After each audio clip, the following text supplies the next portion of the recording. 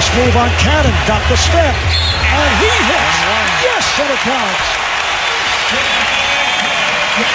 Tyler Johnson has taken the free throw, originally signed by Miami a couple of years back to attend.